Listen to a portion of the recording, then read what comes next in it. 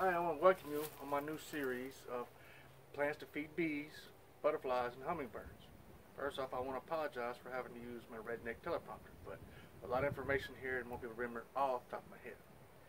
Now, this is going to be a series of videos about the plants and not one big video and a whole bunch of them.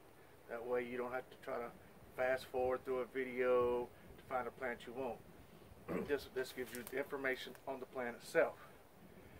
These plants uh, will be for beekeepers mainly. However, if the plant also covers butterflies and hummingbirds, since they kind of commingle, I will put that in there.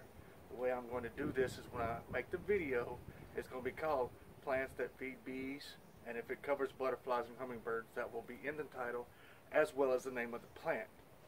that way you can look up each plant individually once this video begins to get bigger, uh, the video, I'm sorry, the library begins to get bigger, and you can find uh, the plants you're looking for.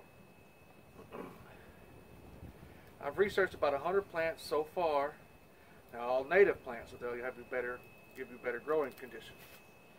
the information I will give you on these plants is going to be the zone, obviously, growing conditions, and, and if the ones I have found on, the sugar content and the nectar content. I will not be covering how to make your garden, how to plan the garden, none of that stuff. This is just going to be elaborate on the plants themselves.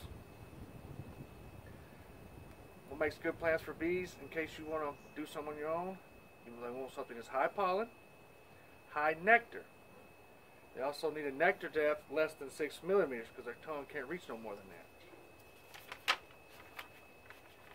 Bees also see an ultraviolet, so blue to violet tones are good plants, then yellows and whites.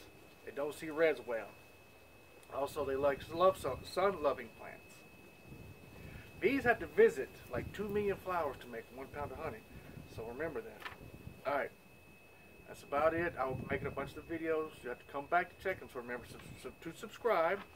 If there's plants that you want information on, that you think do it, put them in the comments if I do research and they do it and they're not on my list, I will add them to the list. Thank you.